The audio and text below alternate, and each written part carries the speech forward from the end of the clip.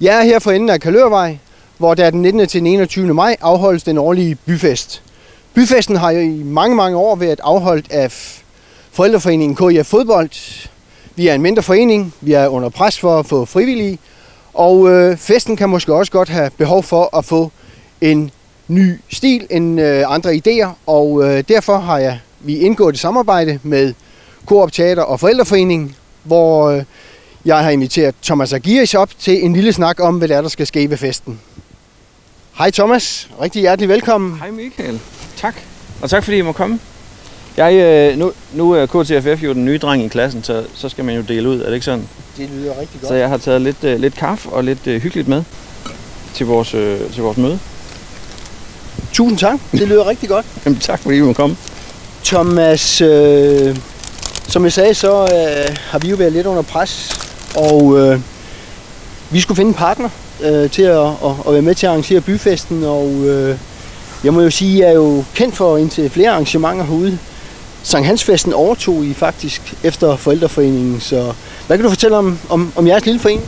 Jamen, KTFF er jo efterhånden en, øh, en veletableret i Coop øh, forening, som øh, har fokus på hovedsageligt børn og unge, men også, øh, men også andre, som måske ikke lige har interesse for, for sport. Der er rigtig mange sportstilbud i Coop, men øh, kultur og teater og de ting, som vi, øh, vi leger med, dem er der ikke så mange af. Så vi, øh, vi har fokus på øh, for eksempel vores Halloweenhus er en stor succes, hvor vi øh, skræmmer de unge mennesker, de kan komme op og, og se lidt øh, uhyggeligt. Så har vi øh, juletræsfest og, og Sankt Hans, som du også nævnte. Så øh, vi, øh, vi har rigtig mange ting i gang efterhånden. Det bekræfter mig bare i, at, at valget af jer til, øh, som en del af, af byfesten var helt rigtigt, fordi øh, nu kommer vi til at snakke lidt om programmet, og jeg er sikker på, at, at øh, beboerne herude vil kunne mærke, at der er sket nogle ændringer på, øh, på byfesten. Jamen, vi har, vi har jo været så heldige, at, at I har inviteret os til at lege med, og det, det sætter vi stor pris på, og derfor vil vi jo også sætte vores præg på, øh, på byfesten. Så ja, der kommer lidt anderledes, øh, lidt anderledes indslag i forhold til det tidligere år, uden at vi ændrer noget, fordi at formatet var jo sådan set rigtig, rigtig godt. Byfesten er jo øh, en, en årlig samling i Coop, og det skal vi holde fast i, så vi kommer ikke for at ændre en masse ting, men øh, måske bare lige sætte et ekstra præg, og kunne man ikke lige gøre sådan her, for eksempel? Vi starter jo øh, fredag den 19. Øh, kl. 18, hvor Tivoli det åbner, og øh, der er jo genvalg til et meget populært arrangement med oste- og pølsebord, øh, som slutter kl. 20.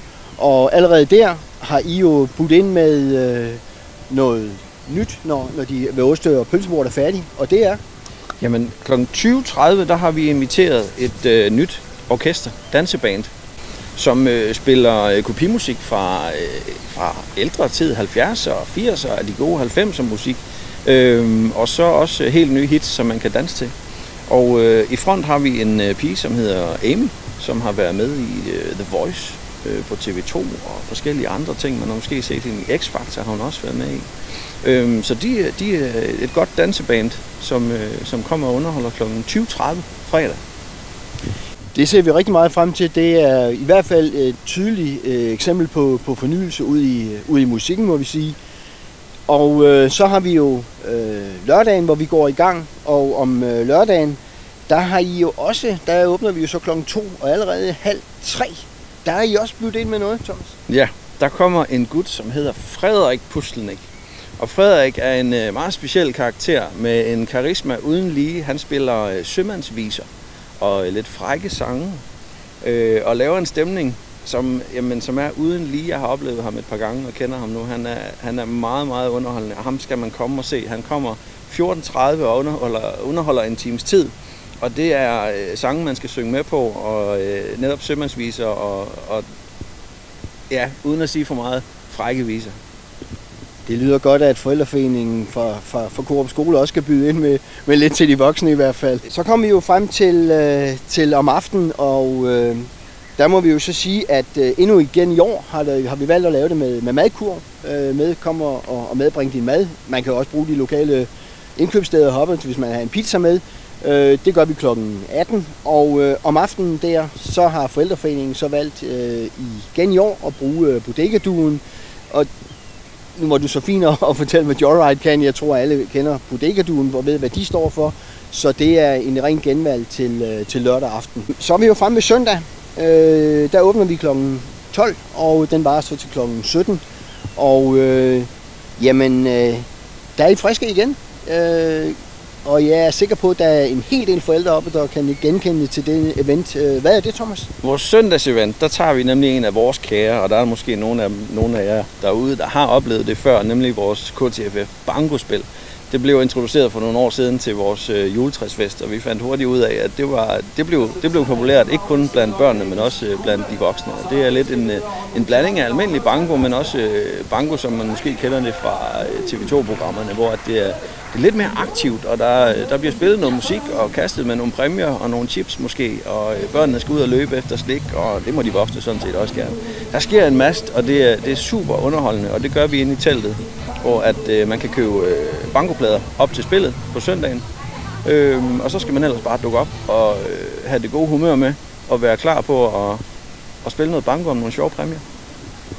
Og det er efter første mølle-princippet med hensyn til øh, usal, for når fæld, øh, teltet er, er fyldt, så er der jo ikke specielt plads til meget mere. Hvor lang tid kører vi, Thomas? Bankospillet var cirka en times tid, alt efter hvor sjovt det bliver, og det bliver jo rigtig, rigtig sjovt, så det bliver måske helt lidt mere. Men øh, normalt plejer det at tage en times tid. Og så når vi er derhen, så er vi jo henne, hvor vi kan sige, at øh, festen lukker og slukker, og vi kan tillade os at sige tak for i år. Det er så klokken 17 om, øh, om søndagen. Øh, jeg synes, det er fint. Nu har vi jo lige gennemgået øh, lidt af de her ting her. Der er sikkert mange, der sidder derude og ikke øh, lige kan huske øh, tidspunkter og lignende der. Men øh, det ved jeg, at det har du også været lidt bannerfører for at hjælpe, hvordan at det kommer rundt til folk. Der, der er råd for alle. Hvis man er på Facebook, så er der noget, der hedder Coop-siden. Der poster vi en masse forskellige ting inde, blandt andet programmet og øh, hvad der kommer til at foregå. Så øh, KTFF har også en Facebook-side, der kan man også se det. Hvis man, er, øh, hvis man ikke er på Facebook, men på internettet, så kan man gå ind på ktff.dk, eller man kan bruge Coop-portalen, som altid. Og øh, så bliver der jo sat plakater op i øh, vores supermarked, og der bliver sat øh, store skilte op på øh, Kalørvejen, som altid også. Så der er øh, rig mulighed for at finde informationer. Kan vi ikke være rimelig enige om, at øh, der er lagt i, i, i solen forhåbentligvis også de øh, tre dage, hvor vi holder, holder byfest her i, øh, i Coop? Jo. Øh, jeg synes, vi skal sige, at vi, øh, vi glæder os til at se øh, alle Kors borgere. Meget, ja. Kommer de fra Ubrud, kommer de fra Morud, kommer de fra Tarp, skal de også være hjertelig velkommen. Absolut. Så, øh, så Thomas, på en, øh, en rigtig god byfest i år. Skål. Vi glæder os til at se jer. Det gør vi.